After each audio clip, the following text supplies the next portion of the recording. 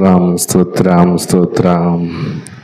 Hallelujah స్తోత్రం స్తోత్రం స్తోత్రం. స్తోత్రం. హలిలూయ హలిలూయా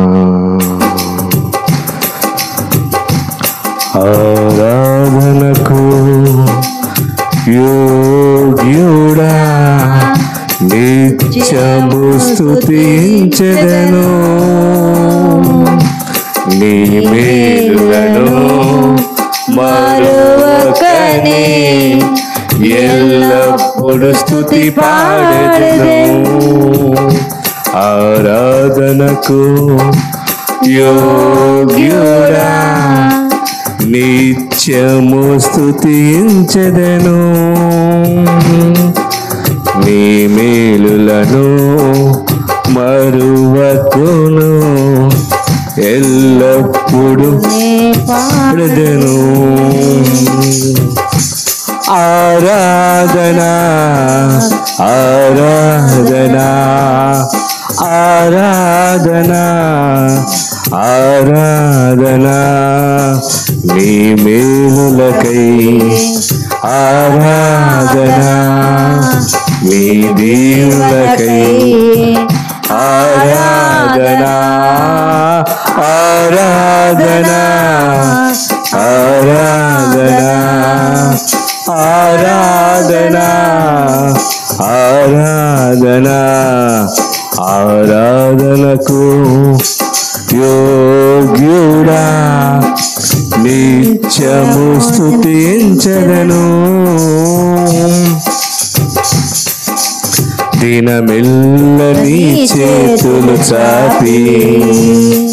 నీ కవిలలో కాపాడుకుంటివే. దినమెల్ల చేతులు చాపి నీ కౌగిలిలో కాపాడుకుంటివే. నీ ప్రేమని జాలి నీ కరుణకే నా పూర్ణ హృదయముతో స్తుతింతును. నీ ప్రేమని జాలి నీ కరుణకే నా పూర్ణ హృదయముతో స్తుతింతును. ఆరాధన ఆరాధన ఆరాధన ఆరాధన. నీ ప్రేమకై ఆరాధన నీ జాలికై ఆరాధన ఆరాధన ఆరాధన ఆరాధన ఆరాధన ఆరాధనకు యోగ్యుడా. నిత్యము స్తుతించదను. స్తోత్రం స్తోత్రం స్తోత్రం స్తోత్రమయ్యా. పరిశుద్ధాత్ముడా ప్రేమగల తండ్రి నా ఈ పరిశుద్ధాత్మ శ్రేష్టమైన భాగ్యం చేత మరి ఈ ఉదయకాల సమయం ముందు క్రీస్తు కృప ఆరాధన ఆవరణము ద్వారా ఈ వేములపల్లి గ్రామములో ఈ దూకుడుమట్ట పరిస్థితుల్లో నువ్విచ్చిన కృపకై వందనాలు. దేవా నీ సమయాన్ని మేము సద్వినియోగం చేసుకొని నిన్ను గౌరవించుకొని మర్యాదపూర్వకంగా ఈ ఆరాధన జరిపించుకోవడానికి కృపను దయచేయండి. దేవా ఎందు నిమిత్తము నన్ను ఎక్కడ తీసుకొస్తున్నావో అది నీ చిత్తానికి నేను బయలుపరుస్తున్నాను. ఎన్ని ఆటంకములు ఉన్నా ఎన్ని సమస్యలు ఉన్నప్పుడు కూడా ఈ ప్రాంగణానికి మమ్మల్ని నడిపిస్తూ ఉన్నావు నీ కొందనాలు దేవా మరి ఏ హృదయానికి మేము బలపరచాలి ఏ హృదయాలను స్థిరపరచాలో మాకు తెలియదు కానీ ఏదైనప్పుడు కూడా నీ చిత్తమే నీ బాహుబలమే తప్ప మా యొక్క బలము కానీ మా యొక్క ప్రోత్సాహం కానీ కాదు. దేవా నా మాటలు ఈ ప్రార్థన నువ్వు ఆలకిస్తూ ఉన్నావు. అవును ప్రభా మనుషులు లేనప్పటికి కూడా మా మధ్య నువ్వు ఉన్నావని నమ్ముతున్నాను. దేవా నీ చిత్తమైతే ఈ ప్రాంగణాన్ని నీ పరిశుద్ధ ఆత్మతో ముందు నింపండి. అభిషేకంతో మమ్మల్ని నింపండి. మా శరీరములు కానీ మా తలంపులు కానీ మా స్థితిగతులు కానీ ఎటువంటి శోధనకు గురి కాకుండా నీ వాక్యపు వెలుగులో మమ్మల్ని నడిపించండి. నువ్వు ఇచ్చిన పాఠ్యభాగాన్ని ధ్యానించుకున్నప్పుడు నీవే మాతో మాట్లాడమని ఏసయ్య పరిశుద్ధనామర్థం పంపుతండి ఆమెన్. మంచిది మరి దేవుని యొక్క మహాకృపను బట్టి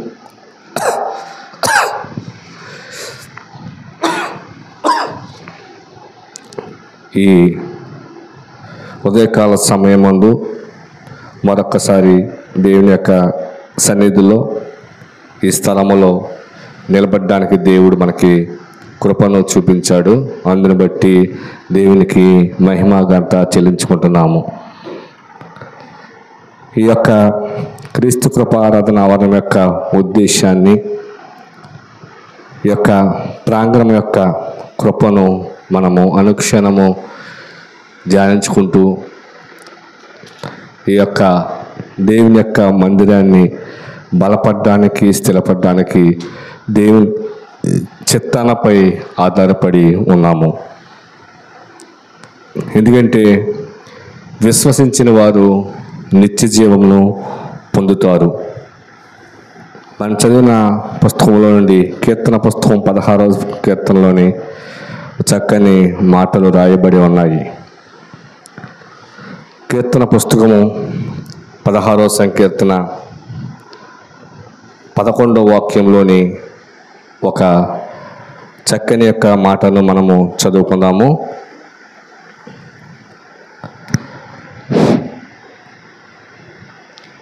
పదహారవ సంకీర్తన పదకొండవ వాక్యము.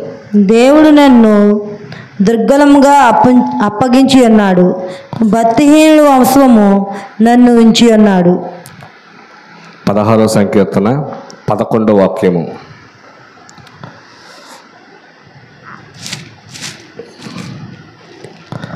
జీవ మార్గము నీవు నాకు తెలియజేసిదివి నీ సన్నిధిని సంపూర్ణ సంతోషము కలదు. నీ కుడి చేతిలో నిత్యము సుఖము కలదు. కలదు. ఈ యొక్క దావిదికి రాసిన సంకీర్తనలోని ఈ పదహారవ అధ్యాయంలో చదివిన ప్రతి మాట ప్రతి వచనం ప్రతి చరణం కూడా మన ఆత్మీయ జీవితాలను బలపరుచుకోవడానికి దేవుని యొక్క చక్కని మాటలు చెప్తూ ఉన్నారు. జరుగుతున్న పరిచర్య అన్నిటి కూడా దేవుడు మనల్ని దీవిస్తూ ముందు కొనసాగుతూ ఉన్నాం. మరి అలాగే ఈ వేమిలిపల్లి గ్రామంలో జరుగుతున్న ఈ పరిచర్య కూడా మరి దేవుని చిత్తమే ప్రకారంగానే నడిపిస్తూ కొనసాగుతూ ఉన్నాం. ఇక్కడ దావీదు రాసిన కీర్తనలోని దేనిలో నిత్య జీవం గురించి ఆయన మాట్లాడుతూ ఉన్నాడు. నిత్య జీవము తరువాత మరణం తర్వాత జీవించడానికి మరొక జీవితాన్ని మనకు ఉందని విశ్వసించాలి. విశ్వసించిన పరిపూర్ణతను చెంది చక్కని మార్గము కానీ నీతైన మార్గమును సత్యమైన మార్గాన్ని దేవుడు మనకు తెలియబరుస్తూ ఉన్నాడు. జీవితం పరిపూర్ణత కాకుండా మనం సాధించడానికి అవసరమైన నియమాలను దాగి ఉన్న రహస్యాలను దేవుడు స్పష్టంగా చెప్తూ ఉన్నాడు. ఎందుకంటే ఈ పదహారో సంకీర్తన ఒకటో వాక్యంలో ఒకటో చరణంలోని ఏమన్నాడంటే పదహారో సంకీర్తనలోని మొదట దేవా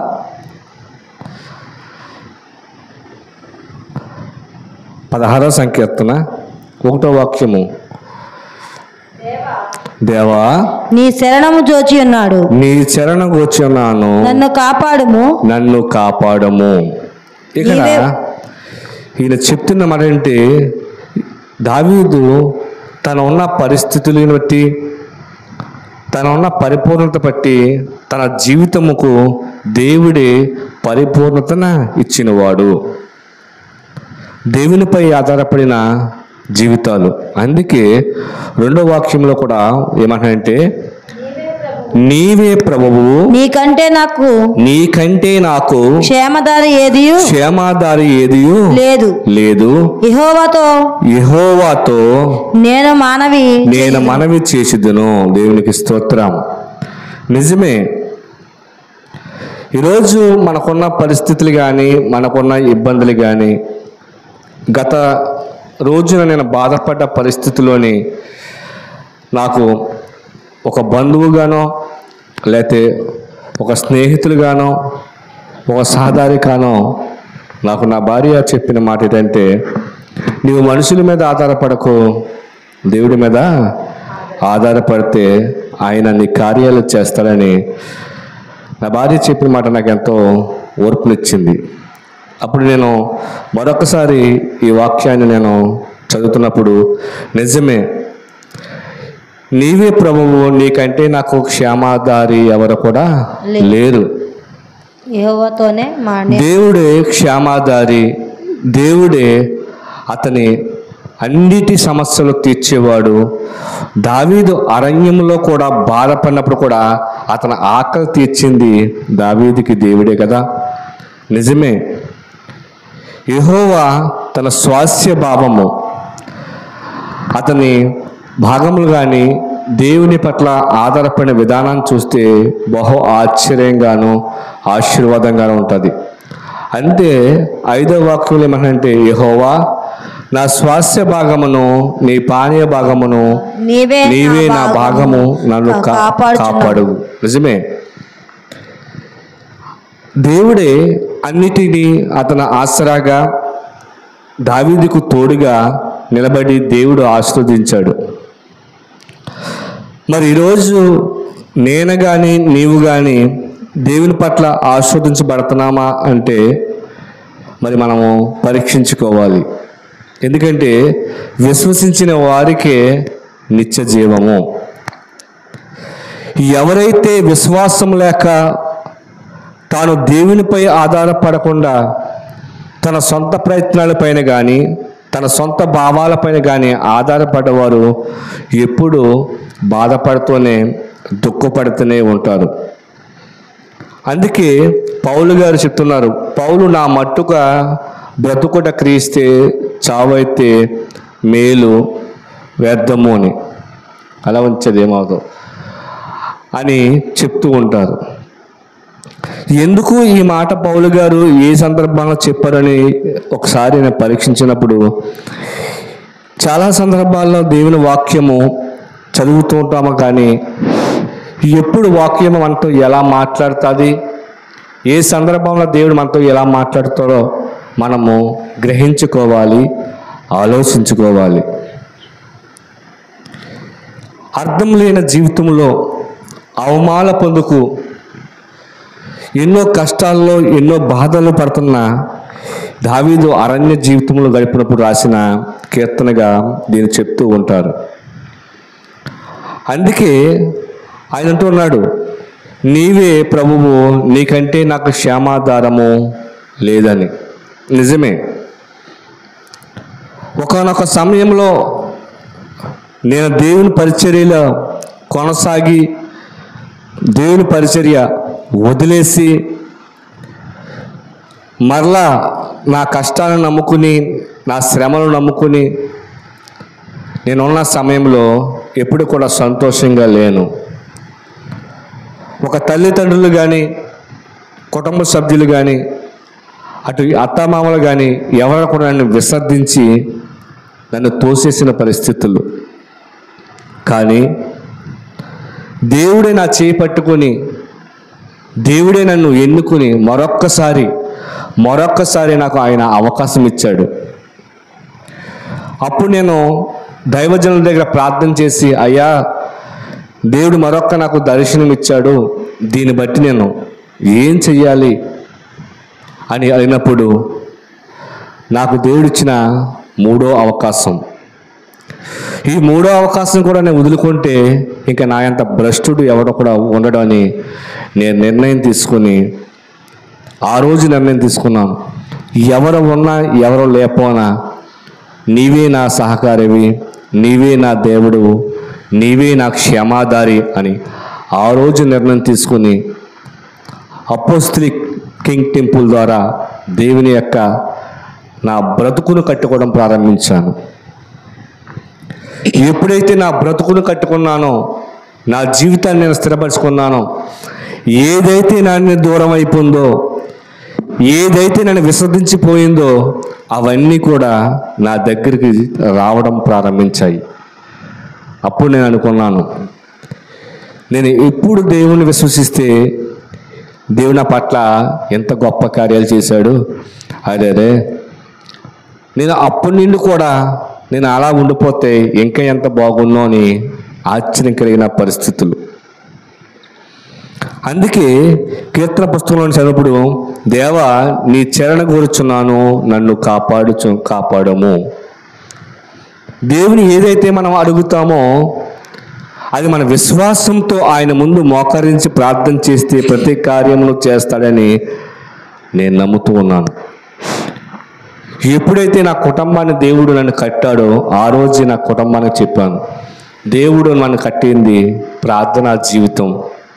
పడిపోయిన మన బలిపీఠాన్ని తిరిగి మరలా కట్టుకోవాలి. ప్రార్థనలు మనం ఏకీభించి మనందరం ఒకే విధంగా ప్రార్థనలో ఉంటే దేవుడు మనల్ని కాపాడుతాడని చెప్పిన సందర్భాలు.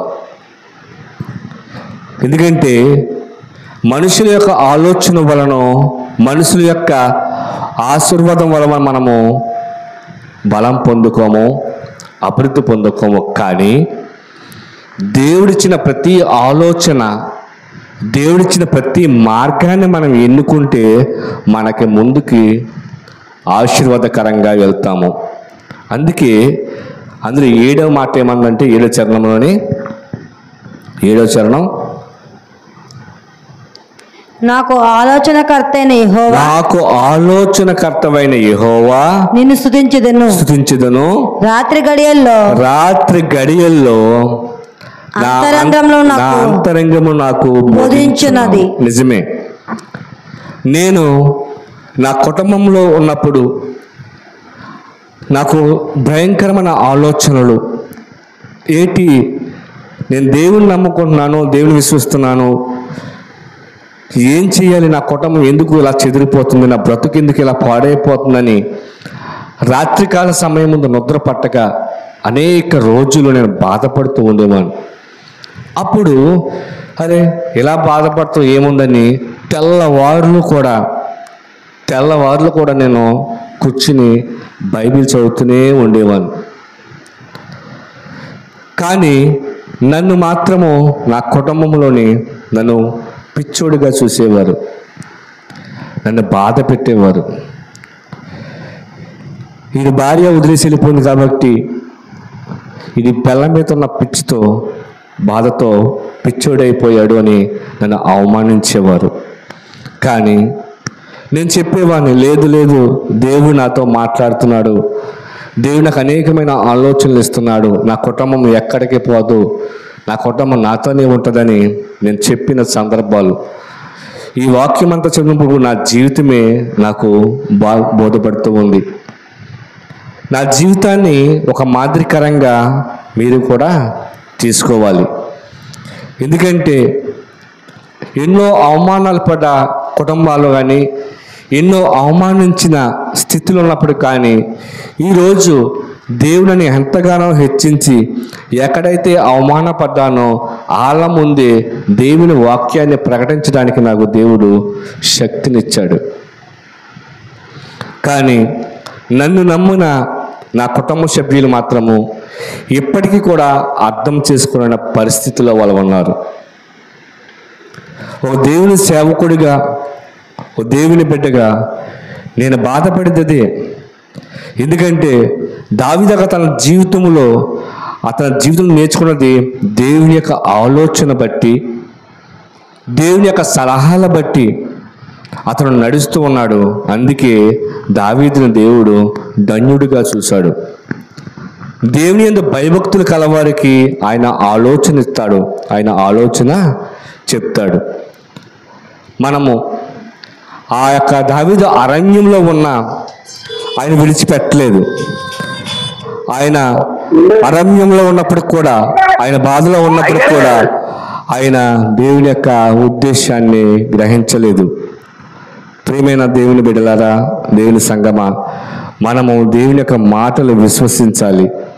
దేవుని యొక్క మాటలను బట్టి మనం గ్రహించాలి. ఎందుకంటే మనము కూడా అటువంటి స్థితిలో ఉన్నాము. ఆ రోజు దావీదు అరణ్యంలో ఇబ్బంది పడుతున్నాడు. ఈరోజు మనం దేవుని యొక్క ప్రజలుగా దేవుని యొక్క బిడ్డలుగా ఉండి శోధనలకు గురవి అపవాది క్రియలకు గురవి మనం ఇబ్బందులు కష్టాలు పడుతూ ఉన్నాము. కానీ మనకు మంచి సలహాదారుడు ఎవరు అంటే దేవుడే. ఆయన సహాయం చేస్తాడు. ఆయన మనకు ఓదార్పునిస్తాడు. మన ఆత్మీయ జీవితంలో మన ఆత్మను దేవుని యొక్క నడిపింపుపై ఆధారపడి జీవించాలి. లేని పక్షాన దేవుని యొక్క పిల్లలుగా మనము ఎంచబడము. అందుకే అపోస్తులను పోల్ చెప్తూ ఉన్నాడు. ఎందుకంటే రోమపత్రిక ఎనిమిదో అధ్యాయం పద్నాలుగో వాక్యంలో దేవుని ఆత్మ చేత ఎందరైతే నడిపిందురో వారందరూ వారు దేవుని కుమారులై ఉందరు. ఈరోజు నేను దేవుని యొక్క ఆత్మ చేత దేవుని యొక్క మాట చేత దేవుని యొక్క చిత్తానికి లోబడి నేను దీవిస్తూ ఉన్నాను. నన్ను ఎవరు అవమానించినా నన్ను ఎవరు ఇబ్బంది పెట్టినా నన్ను ఎవరు కష్టపెట్టినప్పటికి కూడా నేను కేవలము దేవుని యొక్క మాట పైన ఎక్కడైతే నా జీవితాన్ని మరలా నేను ఇబ్బంది పాలు చేసుకుంటానో ఎవరితో అయితే నేను గట్టిగా మారితే నా వల్ల వేరే వాళ్ళు నొప్పించబడతారో అనే ఉద్దేశంతో నేను ఏం చేస్తానంటే నాకు దేవుడు ఏదైతే సలహా ఇస్తాడో అయ్యా ఈ సమయంలో ఒక చోటికి వెళ్దాం అనుకుంటున్నాను. నేను వెళ్ళనా వద్దా అని దేవుని అడిగితే ఆయన నాకు సలహా ఇస్తాడు. అదే నేను దేవుని యొక్క ఉద్దేశంలో ఎప్పటికీ కూడా నేను నడుస్తూ ఉంటాను. అందుకే ఏడవ వాక్యంలో చెప్పని మాట చెప్పాడు కీర్తనకారుడు ఆలోచన నాకు ఆలో నాకు ఆలోచనకర్తమైన యహోవా శుతించదను రాత్రి గడియలో నా అంతరింగములకు బోధించు. సదాకాలము యెహోవందు నా గురి నిలుచున్నది. ఆయన కుడి ఎందుకంటే దేవుని యొక్క గురి నాపై నిలిచి ఉందని నేను నమ్ముతాను. ఈ రోజున బాధపడవచ్చు ఈ రోజున ఇబ్బంది పడవచ్చు ఈ రోజున కష్టపడవచ్చు కానీ దేవుడు నా పక్షాన గొప్ప కార్యం చేస్తాడని నమ్ముతాను. నన్ను బట్ట మీరు కూడా నమ్మితే దేవుడు మీ కుటుంబాల పట్ల కూడా గొప్ప కార్యాలు చేస్తాడు. దేవుడు మనకి భద్రత కల్పిస్తాడు. దేవుడు మనకి ఓదార్పునిస్తాడు. ఎందుకంటే నన్ను ఎవరైతే బాధ పెట్టినప్పుడు కూడా నా కుటుంబం నా భార్య నా కొండంత అండగా నిలబడుతుంది. ఒకప్పుడు నువ్వంటే నాకు ఇష్టం వచ్చి యాత్ర పోవన్న ఆమె ఈరోజు నా మీద మాట పడనివ్వకుండా మాట రాకుండా ఒక తల్లిలా ఒక సోదరిలా నన్ను కంటి క్రెప్పలా కాపాడుతూ ఉంటుంది. ఎందుకు నేను ఈ మాట చెప్తున్నానంటే దావిద జీవితంలో దేవుడు చేసిన గొప్ప కార్యాలు తను తాను తగ్గించుకుని దేవునిపై ఆధారపడ్డాడు. ఈరోజు సేవల జీవితంలో నేను జరుపుకున్న నేను కూడా నేర్చుకున్న సంగతులను సంఘంలో బోధిస్తూ ఉన్నాను. ఎందుకంటే దేవుడు ఒక కాపరి ఆ కాపరి మనకి మాదిరిగా ఉన్నాడు. మనలను నడిపించే ఒక బోధకుడు కానీ ఒక సేవకుడు కానీ సంఘానికి మాదిరికరంగా జీవించాలి. సేవకుని స్థితిని చూసో సేవకుని యొక్క గతిని చూసే మనం అతిశయపడతాం కాదు. సేవకుడి యొక్క నడిపింపు చూసి దేవుని యొక్క ఆశీర్వాదాన్ని మనము గుర్తించగలగాలి. అందుకే దేవుడే నిరీక్షణ కలిగించేవాడు. ఎప్పుడైతే దేవుని మన నిరీక్షణ అంటే ఇక్కడ చెప్తూ ఉన్నాడైన తొమ్- ఎనిమిదో వాక్షంలోని ఆయన నాడ కుడి పాశ్యమందు ఉన్నాడు గనుక నేను కదల్చబడను. అందువలన అందువలన అందువలన ఆ, సంతోషించున్నది. నా హృదయము సంతోషించున్నది. నా ఆత్మ నా ఆత్మ హర్షించున్నది నిజమే మరి. ప్రియమైన దేవుని బిడ్డలారా. ఎందుకు దేవుడు ఇంత చక్కని మాటలు చెప్తున్నాడంటే దేవుడే దేవుడే మన కొరకు ఆయన కుడిపార్శ్వము నుండి మనను గమనిస్తూ ఉన్నాడు. ఆయన పక్షాన మనం గమనిస్తూ ఉన్నాడు అంటే ఏ శోధన వచ్చినా ఏ ఇబ్బందులు వచ్చినా మిమ్మల్ని కానీ మీ కుటుంబాలను కానీ కదల్చబడవు. కష్టాలు రావచ్చు పోవచ్చు కానీ దేవుని ఎందుకు విశ్వసించే వారికి గొప్ప ఆశీర్వాదం కలుగుతుంది. ఎందుకంటే బైబిల్లో యోగి ఉన్నాడు. మీకు అందరికి తెలిసిన వ్యక్తి. ఆ వ్యక్తి తనున్న కష్టము తనున్న బాధను తనను హింసను మరొక మరొకరైతే భరించలేరు. తన బిడ్డలు చనిపోయారు తన కుటుంబం చనిపోయింది తన ఆస్తులు పోయాయి తన సంపద పోయింది. కానీ తాను మాత్రం దేవుడిపై ఉన్న భక్తి చేత శైతాను అతన్ని కదల్చలేకపోయింది. మరి ప్రియమైన దేవుని బిడ్డలారా నీవు కానీ నేను కానీ దేవుని మీద నిరీక్షణ కలిగి ఉంటే మనకు కదల్చబడము. అందుకే ఆయన ఏమంటున్నాడంటే పదకొండవ వాక్యంలోని జీవ మార్గము నీవు నాకు తెలియజేసితివి. తెలియజేవు నీ సన్నిధిని సంపూర్ణ సంతోషము కలదు. నిత్యము దేవుని యొక్క మందిరములో కానీ దేవుని యొక్క సంతోషాన్ని కానీ మనము కోరుకున్నట్లయితే ఆయనకు మనకు మందిరము ద్వారా సంపూర్ణ సంతోషం వస్తుంది. ప్రియమైన సహోదరి సహోదరులారా చాలామంది ఆదివారం సమయం వచ్చినప్పుడు దేవుని మందిరానికి ఇవ్వాల్సిన సమయాన్ని దేవుని మందిరానికి ఇవ్వకుండా వాళ్ళ సొంత పనులకు వాడుకుంటూ ఉంటాం. ఎన్ని కష్టం వచ్చినా ఎంత పని వచ్చినా ఎన్ని ఒడిదికి వచ్చినా కూడా ఆయనకి ఇవ్వాల్సిన సమయాన్ని ఆ మందిరంలో గడిపితే దేవుడు నీతో ఏం మాట్లాడాలనుకుంటున్నాడో నాతో ఏం మాట్లాడుకుంటున్నాడో ప్రతి మాటను కూడా స్పష్టంగా ఆయన చెప్పినప్పుడు అయ్యో దేవుడు నా కొరకు నా స్థితిని నా గతిని మార్చుకోవడానికి నాకు ఒక సలహాదారు ఉన్నాడే నాకు ఆలోచనకర్తగా ఉన్నాడే నాకు ఒక ధైర్యం చెప్పి భద్రత కల్పించే మనిషి ఉన్నాడే నాకు నిరీక్షణ ఇచ్చే దేవుడిగా ఉన్నాడని మనం తెలుసుకున్నప్పుడు మాత్రమే మనకి సన్నిధిలో సంపూర్ణ సంతోషము దక్కుతుంది.